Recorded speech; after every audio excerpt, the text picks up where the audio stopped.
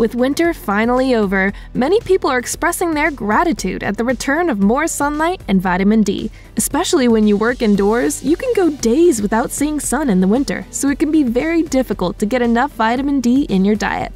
After consulting a panel of doctors, dietitians, and wellness experts, we found out what really happens when your levels are low. What is vitamin D? First off, what is vitamin D and why does it matter? According to Dr. Scott Schreiber, a chiropractic physician double board certified in rehabilitation and clinical nutrition, vitamin D does much more than we used to think. He told the list, traditionally, vitamin D was thought of as a bone building vitamin, but current research has it shown to be involved in much, much more.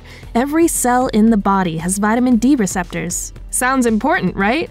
It is, which is what makes it so shocking that many people aren't getting enough. According to Dr. Schreiber, vitamin D deficiency impacts over 80% of the population, so how might you know if you're one of the over 80% affected? Dr. Lisa Ash, the medical director of the Be Well Medical Group, cautions that it isn't always so easy to tell. She told us many people have no symptoms, or they are so subtle that they're unaware until they receive the results of blood testing at the doctor. Moody Blues. Dr. Schreiber also told us that vitamin D is responsible for activating genes that regulate neurotransmitters, and that these directly affect brain function and development. It's no surprise then that low vitamin D has been linked to depression, particularly seasonal affective disorder that is experienced in the winter months when there is less sunlight. Dr. Schreiber says there have been several studies showing that as vitamin D levels decrease due to less time outside, depression increases. The lower vitamin D goes, the worse depression becomes. Have no fear though, Dr. Schreiber said that vitamin D supplementation has been shown to relieve depression symptoms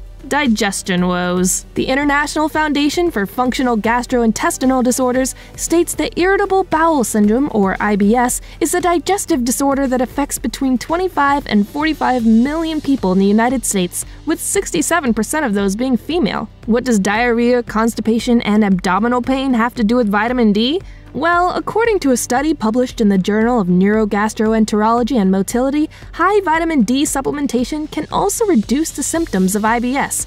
You can add your digestive tract to the list of things you never thought would be affected by how much sunlight you get. Sick day after day. If you always seem to be sick no matter what precautions you take, or your illnesses seem to linger longer than they do in other people, you may have low vitamin D. Dr. Schreiber says vitamin D has been shown to increase the ability of T cells to fight infection. Claudia Mattles, a wellness coach who often sees clients low in vitamin D, agreed, adding that significant deficiency could play a role in type 2 diabetes, hypertension, asthma in children, cardiovascular disease, and even multiple sclerosis and cancer. If you just can't seem to kick that cold after several weeks, ask your doctor to test your vitamin D levels. Achy Bones. Medical director of the Crozier Clinic and author of the best selling book Healing One Cell at a Time, Dr. Gordon Crozier is a leader in the field of integrative medicine. He told the list that in addition to making you more prone to infections and viruses, low vitamin D may cause bone and muscle pain, chronic fatigue, and hair loss. He added that low levels of vitamin D can even mimic fibromyalgia symptoms. According to the Vitamin D Council, there is mixed evidence about whether true fibromyalgia and low vitamin D may be linked causally. However, vitamin D has been used to treat fibromyalgia pain and may help reduce symptoms. In a fog. Varda Myers Epstein has suffered from chronic vitamin D deficiency for 20 years and told us that the biggest issue for her is brain fog. She says, When it's bad, my brain goes foggy and it becomes a real struggle to follow a recipe or do my job. To add insult to injury, forgetfulness is also a symptom of brain fog, making it all the more difficult for her to remember to take her vitamin D supplement. Unfortunately, this isn't uncommon. Low levels of vitamin D have been linked to cognitive impairment in several studies, so what Epstein describes may apply to you too. She says it's difficult to describe the brain fog, like I'm underwater or not quite awake. Like I need coffee, but no matter how much I drink, I can't wake up.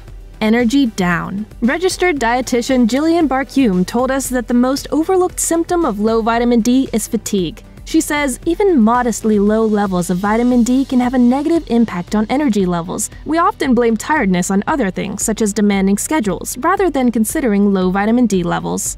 Luckily, this is a fairly easy fix. A recent study published in the Journal of Medicine showed that supplementing with vitamin D significantly decreased fatigue compared to placebo, and that the greater the amount of vitamin D, the more improvement researchers and participants saw. This may also explain why we have more energy in the summer and feel a bit lazier in the winter. Who knew?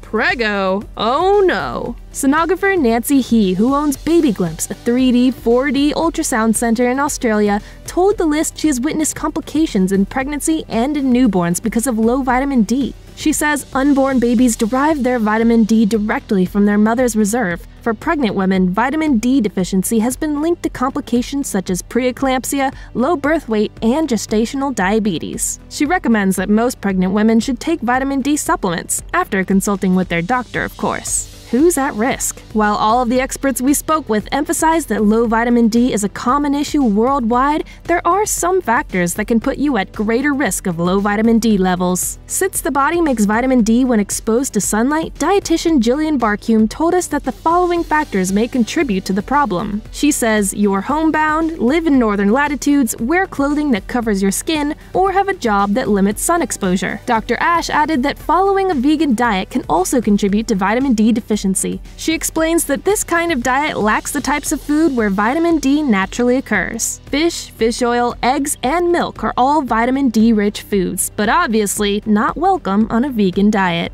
How to treat. If you have low levels of vitamin D, you can treat it through diet and supplements, as well as getting more sun exposure. Registered dietitian Rachel Begun, who is also a spokesperson for Sundown Naturals Vitamins, told us it's always best to maximize nutrient levels through food first. She adds that some conditions like celiac disease, Crohn's disease, and cystic fibrosis can make it even more difficult to absorb vitamin D from food. She says, if diet isn't enough, talk with your doctor about whether it makes sense to take a vitamin D supplement, and if so, at what dose. While some may be able to get by feasting on oily fish or taking an over the counter vitamin D supplement, others may require an extra boost from your doctor with something a little more powerful. If the 80% can be more preventative when it comes to our vitamin D levels, we can all have our day in the sun. Thanks for watching. Click the list icon to subscribe to our YouTube channel. Plus, check out all this cool stuff we know you'll love too.